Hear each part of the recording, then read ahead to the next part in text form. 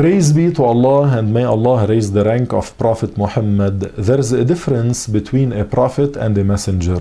A prophet messenger is a prophet to whom Allah reveals a new set of rules. On the other hand, a prophet who is not a messenger does not receive a new set of rules, rather, he is ordered to teach and follow the same rules that were revealed to the messenger before him. The scholars said every messenger is a prophet, but not every prophet is a messenger. All prophets and messengers were ordered to convey the orders of Allah to the people, and they did. Allah sent 124,000 prophets, among them 313 messengers.